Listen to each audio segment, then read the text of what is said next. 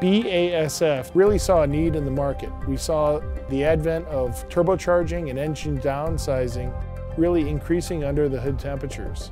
Turbocharged engines are going to grow dramatically by 10 to 15 percent, and we're going to see turbocharged engines reaching approximately 60 percent of all global engines built.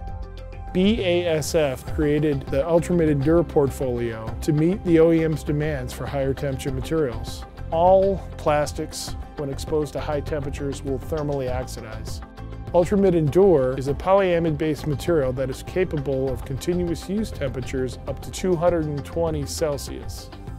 Ultramid Endure can be used in air intake manifolds with integrated charge air coolers, charge air cooler end caps, blow molded ducts, and throttle bodies.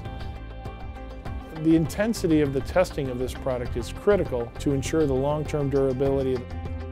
Duration, first of all, up to 5,000 hours. The primary test was heat aging. So what BASF does is they expose the plastic to 200 to 220 C for 3,000 to 5,000 hours.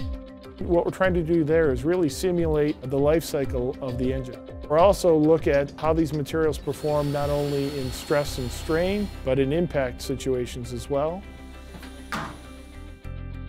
The most exciting part of Ultramid Endure is that it allows us to put thermoplastics in an area where they typically haven't been used.